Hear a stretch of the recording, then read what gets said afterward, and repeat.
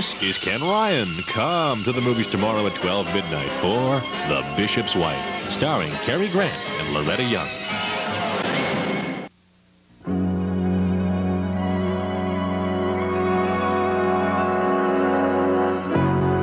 We've got to start. We've got to begin.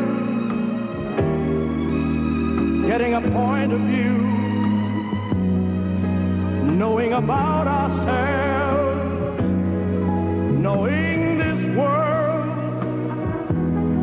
Understanding what and who can make it better. Starting here and now with me and you. This is the Global Television Network, concluding its program service for today. The Global Television Network is owned and operated by Global Communications Limited, with studios and offices located at 81 Barber Greene Road in Don Mills, Ontario, and at 150 Wellington Street in Ottawa. Global programming is simultaneously telecast across southern Ontario on different channels via a network of regional CKGN TV transmitters licensed by the Canadian Radio, Television and Telecommunications Commission, Ottawa. In Sarnia and the Blue Water Country of Ontario, Global is seen on Channel 29 with transmitter located at Oil Springs and power of 370,000 watts.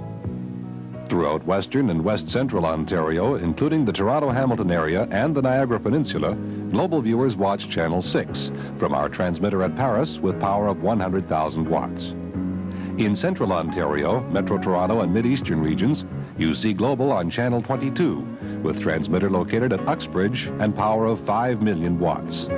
In eastern Ontario, including the Kawarthas, Haliburton Highlands, and the Madawaska Valley, Global reaches you on Channel 2 from our transmitter at Bancroft with power of 100,000 watts. And in Canada's capital city region, Global is seen on Channel 6 with transmitter at Hull, Quebec and power of 12,600 watts. Global programming is also available on over 100 cable systems in Ontario on Cable 3. We hope you've enjoyed the many and varied programs you've seen here today on the Global Television Network. And we invite you to be with us again tomorrow. Until then, good night. Knowing this world and understanding what and who can make it better starting here and now with me